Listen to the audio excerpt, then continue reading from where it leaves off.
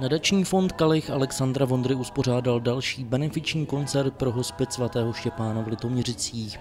Akce proběhla na Litoměřickém domském náměstí a hlavní roli na ní tentokrát hrála nejstarší česká folková kapela Spiritual Quintet.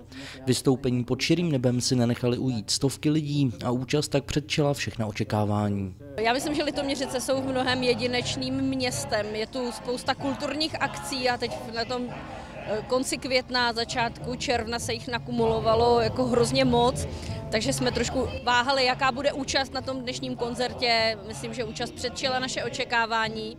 Jenom v předprodeji se prodalo 200 vstupenek a plno na místě. Uvidíme ke konci koncertu, jaký bude výtěžek, ale Zase musím jenom, jenom poděkovat všem, kterým stojí za to přijít a podpořit dobrou věc. A co říkám dobrou věc? Podpořit lidi, kteří to potřebují. Koncert si pochopitelně nenechal ujít ani Aleksandr Vondra, který prozradil, že kapela Spiritual Quintet na akci rozhodně nehraje náhodou. Já mám spirituály rád, já jsem na ně chodil jako dítě. My vždycky se snažíme hledat něco, co eh, přiláká starší i mladý. Je to charitativní koncert pro hospic.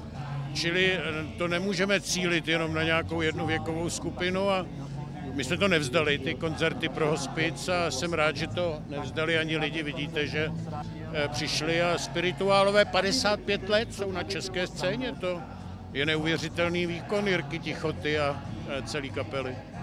Nadační fond Kalich Hospic svatého Štěpána podporuje dlouhodobě.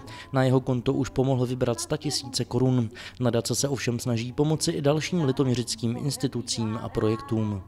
Nadační fond Kalich existuje 9 let a tady na Litoměřicku za tu dobu podpořil projekty asi za 2,5 nebo už je to víc než 2,5 milionu korun.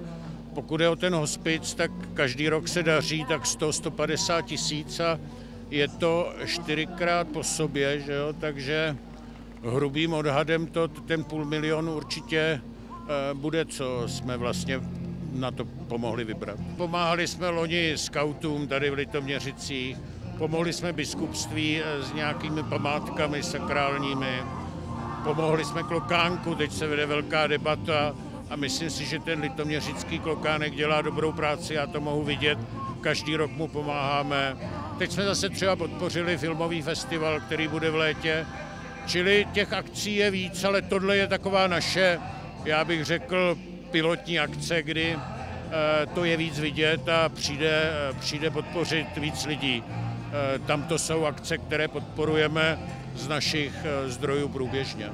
Benefiční koncert Spiritual Quintetu nakonec hospici svatého Štěpána vynesl neuvěřitelných 192 280 korun. Pokud jste na této nevšední akci chyběli, pak vězte, že litoměřické zařízení paliativní péče můžete nově podpořit i dárcovskou SMS. Více informací najdete na www.hospiclitomerice.cz.